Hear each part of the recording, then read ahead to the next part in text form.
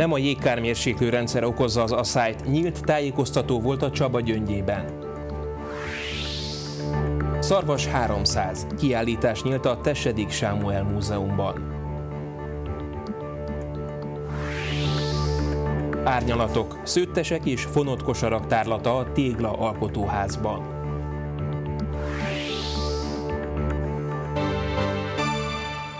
Jó estét kívánok! Önök a 7.tv híradóját látják.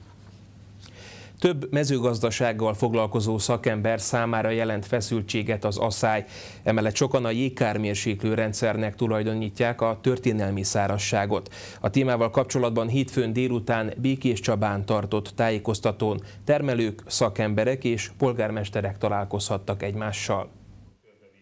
Közel 120 gyűltek össze a Csaba Gyöngye Kulturális Központ panoráma termében hétfőn délután. Az eseményt a Nemzeti Agrárgazdasági Kamara Békés megyei igazgatósága szervezte, amelyen a jégkármérséklő rendszerről adtak tájékoztatást a helyi szakembereknek, vezetőknek és érdeklődőknek. Voltak próbálkozásaink széleskörű tájékoztatókra is, azonban ott azt láttuk, hogy olyan indulatok vannak, amiket szere lehetetlené tették, hogy a valóságról, a tartalmakról tudjunk beszélni. Ezért a mai alkalommal úgy készülünk, hogy egyrésztről olyan a Tudományos Akadémia berkeiből érkező tudós embernek az előadását lesz lehetőségünk meghallgatni, aki nem kapcsolódik a kamerához, nem kapcsolódik a jégkármérséklő rendszerhez, viszont elmondja, hogy ez a rendszer hogy működik, és ennek milyen kihatása lehet a felhőképződésre, vagy annak a megakadályozására. Az elnök hozzátette, hogy további szakemberek bevonásával tájékoztatják a gazdákat és a mezőgazdaságban dolgozó szakembereket. Mint hangsúlyozta, a jégkármérséklő rendszer nincs hatással a csapadék mennyiségére. Jakab István, a Magosz elnöke a jéger pozitív hatásait emelte ki. Én 30 évvel ezelőtt is tagja voltam a Nonprofit Biztosító Egyesületek irányító testületének. Akkor már tökéletesen működött Baranya megyében. Ez egy sok évtizedes tapasztalaton alapuló tevékenység. Azt gondolom óriási értékeket sikerült eddig megmenteni. Ha előző időszakokat nézzük, a jégkár fele annyi nem volt az országban, amióta ez a rendszer működik. A Magosz elnöke szerint nagy hiba minden tudományos alapot mellőzve, összefüggésbe hozni a kivételesen kritikus asszályos időszakot a jégkármérséklő rendszerrel. Az újratelepítésének 300. évfordulóját ünneplő szarvas múltját bemutató kiállítás nyílt a kerek évforduló alkalmából a Tessedik Sámuel Múzeumban. A tárlaton avar és honfoglaláskori leleteket is láthatnak az érdeklődők.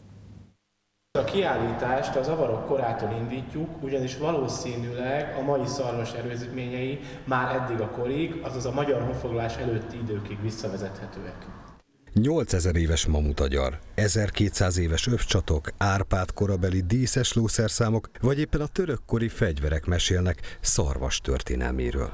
Az újvölgyi edényt az 1722-ben betelepülők hozhatták magukkal, ez a legújabb leletünk, amely ehhez a korhoz köthető. A történelmi Nagy Magyarország mértani középpontjában lévő szarvas mindig fontos szerepet töltött be az ország életében. Szarvas a révnek köszönheti a létét. A régészeti leletek alapján ez már jóval korábban működött, mint az első említése, az 1200-as Anonymous féle említés. A középkorban is többször említik, a törökkorban fahidat építenek, és az út miatt épült itt a Palánkvár, a Szolnokról Gyulára menő útvonalat védte. A Körösparti települést 1722-ben Harukken János György telepítette újra. Ekkor a felvidékről szlovák nyelvű evangélikusok érkeztek a területre az ő történetüket is bemutatjuk a kiállításban, különböző tárgyakkal. Ugye a két legrégebbi tárgyunk egy 1722-es szlovák nyelvű biblia, illetve egy úrvölgyi edénynek nevezett kis pohár, ami azért érdekes, mert van rajta egy felirat, és maga a kis edény az még nem szarvason született meg, a tárlat bemutatja a múzeum névadóját, Tessedik Sámuel életét is, aki a település átrajzolásában mutatott kiemelkedő szerepet. Utolsó hetéhez érkezett a népművészeti tábor Békés Csabán, amelynek részeként fonott kosarakból és festett szőttesekből nyílt kiállítás a Tégla Népművészeti Alkotóházban. Az árnyalatok célja, hogy megmutassa, mennyi szépséget ad a természet, amelyet használhatunk is. Gyapjúból készült asztalterítők, falvédők, párnahúzatok, valamint színes vesszőkből fonott tárgyak díszítik a tégla-alkotóház folyosóját. Hétfőn nyitották meg az Árnyalatok című kiállítást, melynek címe is arra utal, hogy az alkotásokat egyéni színharmónia jellemzi. A székely festékes, ez egy nagyon különleges technika, ahol maga az alkotó festi meg a gyapjú fonalat különböző növényekkel. Tehát ő gyűjti össze és kísérletezi ki, hogy milyen árnyalatot, milyen növényből, milyen oldattal tud előcsalni, és aztán szövi meg a hagyományos mintákat. Hozzátette, hogy a növényi festés nagyon jól összeillik a kosárfonással, hiszen a kosarakhoz is a népi iparművész gyűjti a különböző fajtájú és színű szálakat. Mi azt szeretnénk, hogy felhívjuk a figyelmet arra, hogy milyen szép a természet, hogy mennyi használható szépséget ad nekünk, ami mellett csak úgy eljárunk, nem vesszük észre. Nem mondom, hogy kevés munkával, írdatlan sok munkával lehet ebből sok szép dolgot készíteni. A kiállítás a népművészeti tábor része, melynek utolsó hetében maga a szövőmester is részt vesz. Így nem csak a műveit lehet látni, hanem vele együtt lehet elkészíteni egy-egy munkát és megismerni a technikát. A kiállítás a tábor után is látogatható egészen augusztus végéig. A Körösvidéki Horgász Egyesületek Szövetsége az idei évben két alkalommal rendezett horgásztábort a Békés Dánfoki Üdülőközpont területén. Metzger Krisztina táborvezető elmondta, hogy az első hét meghívásos alapon zajlik, a másodikra pedig bárki jelentkezhet 10 és 15 éves kor között. Idén az egyhetes szakmai táborban 35 diák vesz részt. A tábor célja, hogy a gyerekek elsajátíthassák a horgászathoz kapcsolódó alapismereteket, valamint az, hogy izgalmas élményeket szerezzenek a természetben.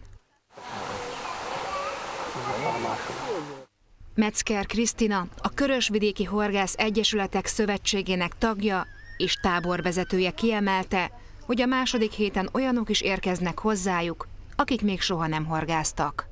Minden évben két nyári táborunk van a Körösvidéki Horgász Egyesületek Szövetségén belül, és a két tábor egy meghívásos és egy nyílt tábornak hívjuk őket. Az első tábor egy vezetett szakmai tábor, amiben különböző versenyeredmények alapján kapnak a gyermekek meghívást. A második tábor, ahol most vagyunk, pedig bárki jelentkezhet rá. Olyan is, aki nagyon tud horgászni, olyan is, aki még soha nem horgászott.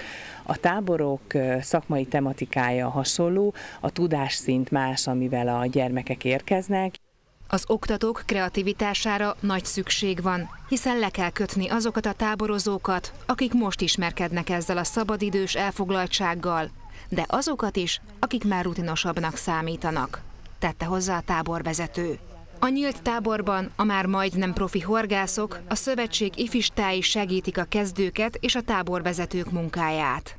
Az első táborban, amikor én idejöttem, nagyon sok színes programot, programot tapasztaltam meg, meg a társaság miatt is.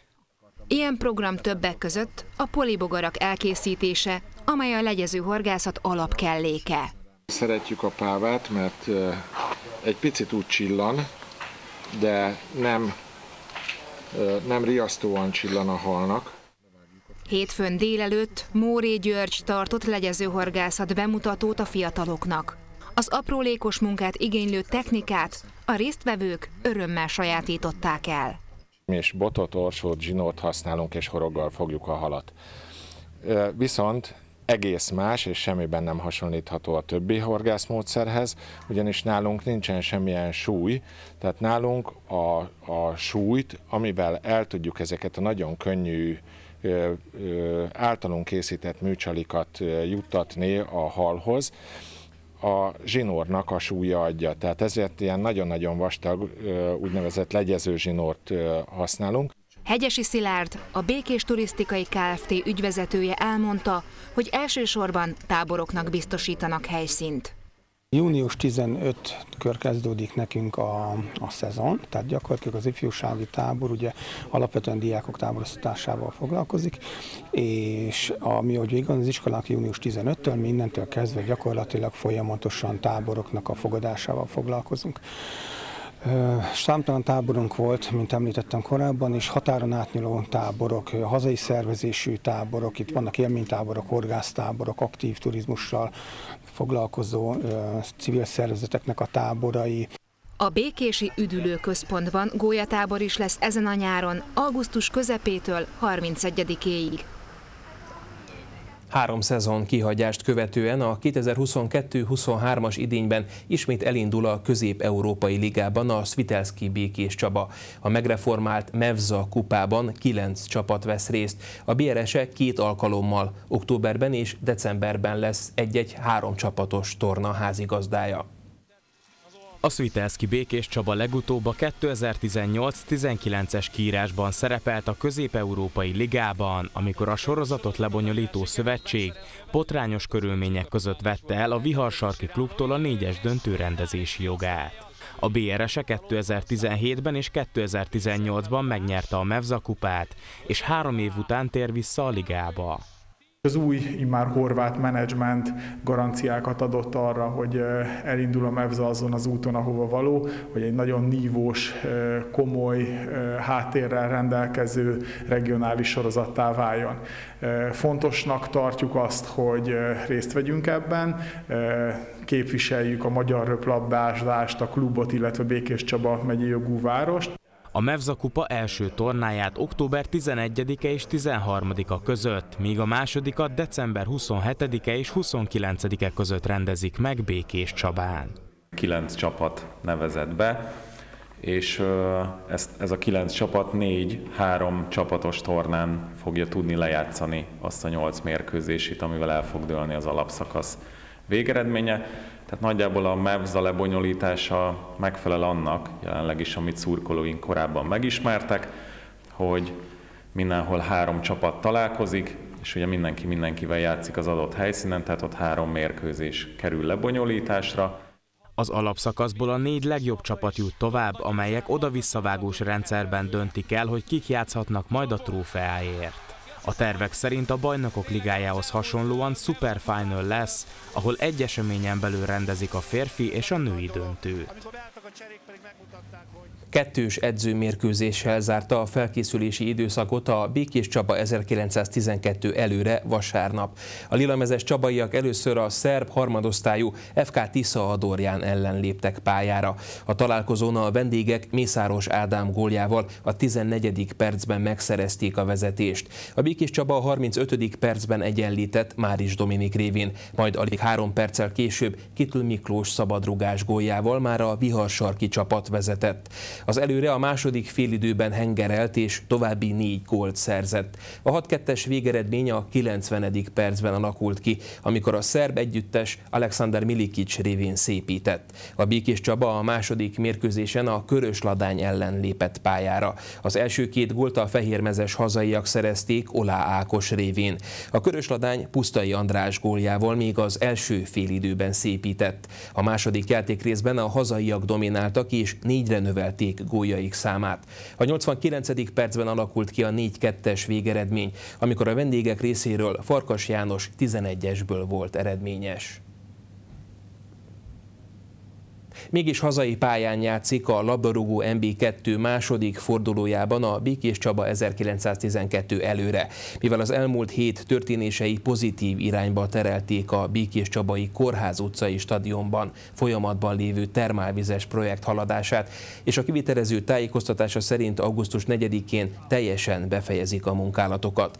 A Békés Csaba 1912 előre így kezdeményezte a pályaválasztói jogcsere törlését, melyet a Magyar Labdarúgó labdarúgó szövetség elfogadott. Ezáltal visszaáll a sorsolásban szereplő mérkőzések eredeti sorrendje és időpontjai, így a Békés Csaba augusztus 7-én vasárnap 19 órától mégis hazai pályán a Kórház utcai stadionban fogadhatja a Kazinc Barcika SC csapatát. Híradónkat látták. További híreinket és korábbi műsorainkat megtalálják a behír.hu oldalon. Köszönöm figyelmüket, maradjanak továbbra is velünk, viszontlátásra!